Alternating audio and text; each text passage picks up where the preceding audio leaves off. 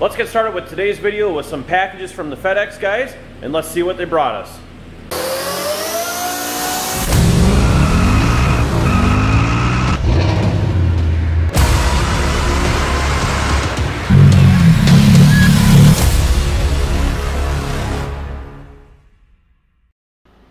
All right, so here they are. If you can tell anything by the label, we got Eastwood hydraulic wheel dollies. So let's unpackage these and take a look at them because we're going to use them to move a few things around inside the shop here so we can get better organized with the vehicles. Let's go ahead and cut these open.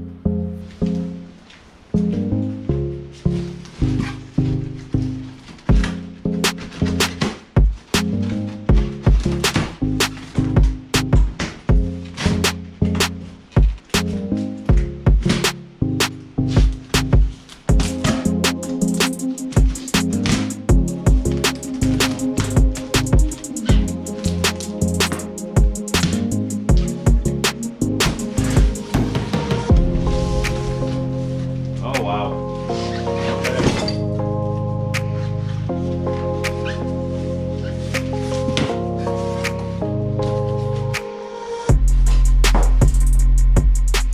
okay, so these again are the Eastwood wheel dollies. They're an item number 30551, I believe. Bought them off Amazon. I don't remember exactly. I think I bought these. So they come two to a set. You got to buy two sets if you want to move a car around in total.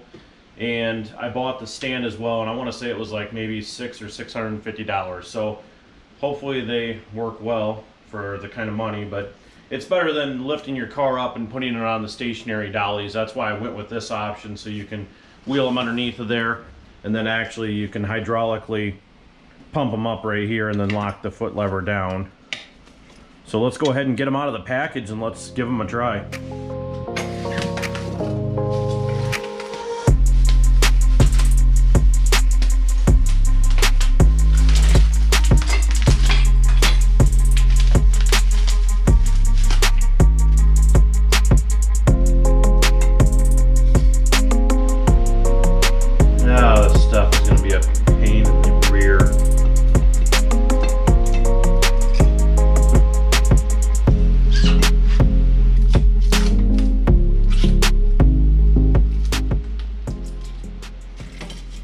Okay, well we're gonna leave this wrapping on there. We'll give them a try with that on. So I'm not spending two hours digging off blue paper, protected film.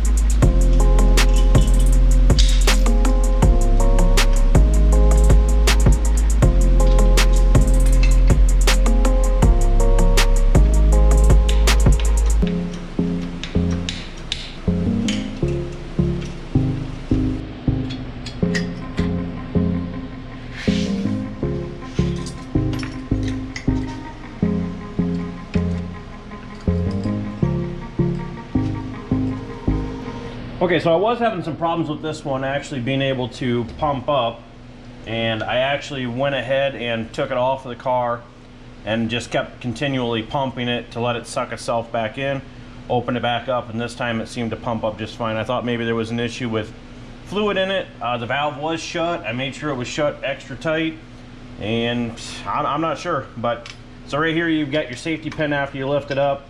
It does go in further yet if you needed to lift it up further, but Obviously the car is off the ground there. So let's go ahead and get the last one under the back wheel and push this thing around.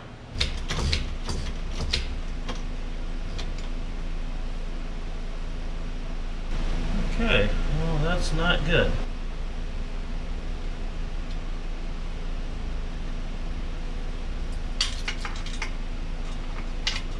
Well, as you can see here, the valve is tightened all the way the valve here is tightened all the way, but the fluid is just running right out of the valve there. I'll try one more time just to see. Alright, so taking a better look at this, I went ahead and screwed the, whatever you want to call it, the bleeder to bleed the pressure off. It's just a mechanism that goes inside of a little pinhole down inside there and it just looks like it should be like a brake bleeder. And actually if this will focus just push against inside down in there and seal off. So what I'm gonna do is I went ahead and grabbed an o-ring.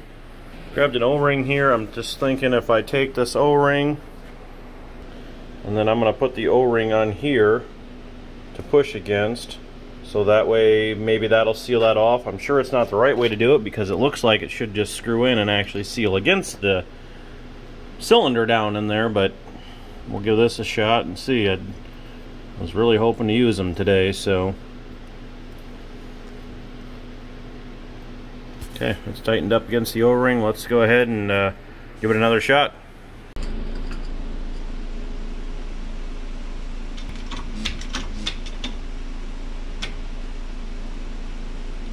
And nope, same thing. So that's a real bummer.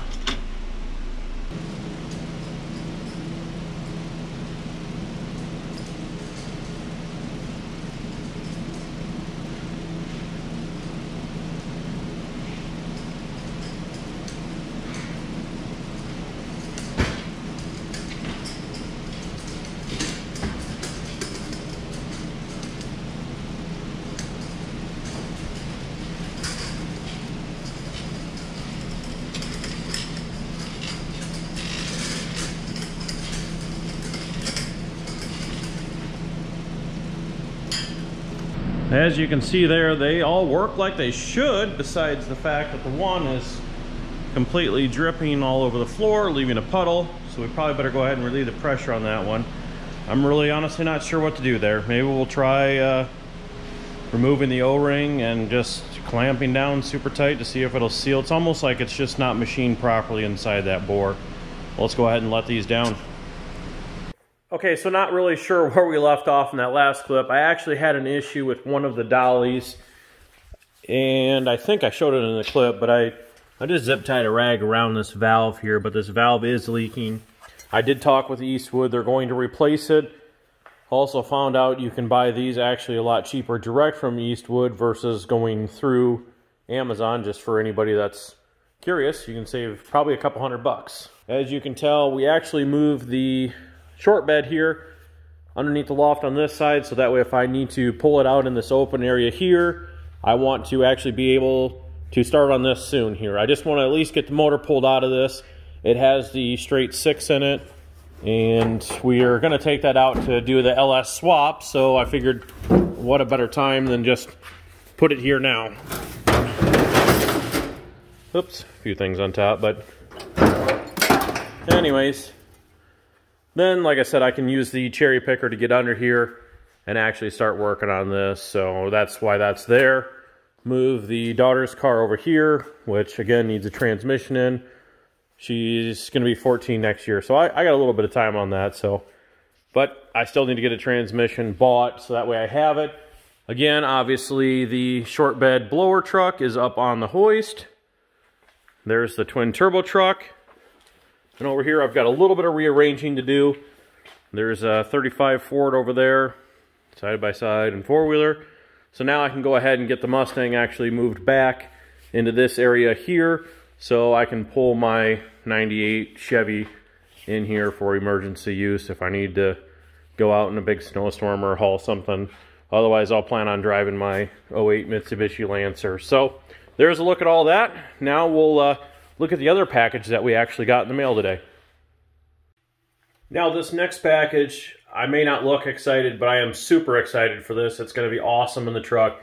I actually went on eBay and was able to find a new, unused, but out of the package or open box, and this is what I found here.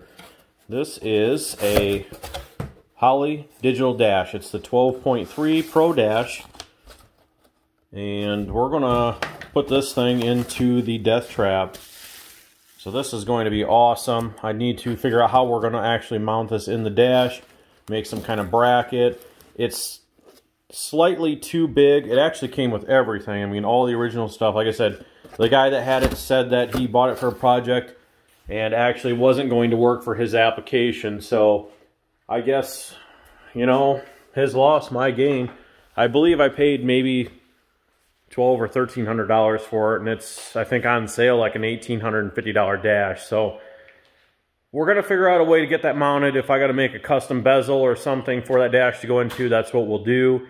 I know it's slightly larger than what the dash is height-wise for the original gauge bezel, but we'll come up with something. So that, I, like I said, I'm super excited for that. We'll be able to do all of our tuning and stuff. Obviously, I'll still carry a laptop with me, but you'll be able to do stuff on the fly. I've read about the dash. I've looked at it for a while now. I actually have one of the six and a half inch dashes already that I was going to run with the Dominator, but I seen this and I couldn't pass it up. That's a wrap on today's video. I know it was a short one, but we got a review of the Eastwood wheel dollies, which they are actually going to replace one of those.